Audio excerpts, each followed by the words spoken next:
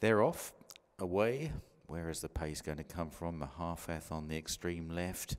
On the right, Inigo Jones goes forward. Inigo Jones and Ryan Moore takes the baton in the early stages from Secret Protector, Percy's Lad, and Mohaafeth is dropped in at the back in the blue and white striped cap as they race through the first furlong and a half or so.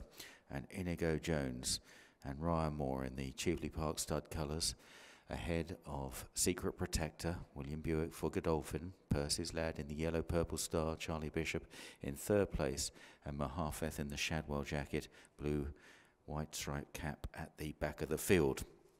Right down the centre of the Rowley Mile and heading on towards the six furlong point from the finish now in this Betfair Newmarket Stakes.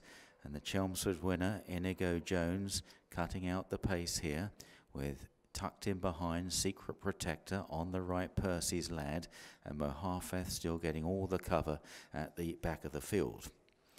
On towards the final half mile a tactical contest, and it's Inigo Jones still, Secret Protector, Percy's lad on the near side Mohaafeth now, just pulled out to the outside, the far side by Jim Crowley, and they begin to stretch on, and Secret Protector's in a bit of trouble here. He's being driven hard by William Buick, uh, Percy's lad driven as well. Inigo Jones on the left, Mohaafeth appears to be cantering at this stage. As they run on now towards the final two furlongs, Inigo Jones running around a little bit under Ryan Moore's driving. Mohaafeth takes it up under a motionless Jim Crowley. It's Mohaafeth effortlessly. Jim Crowley looking round with disdain at Ryan Moore on Inigo Jones and Secret Protector was beaten a long way out. And Mohaafeth is going to absolutely canter up here, cruising away. He's a good six lengths clear. Mohaafeth in the derby wins handsomely. From in second, Secret Protector, Inigo Jones in third,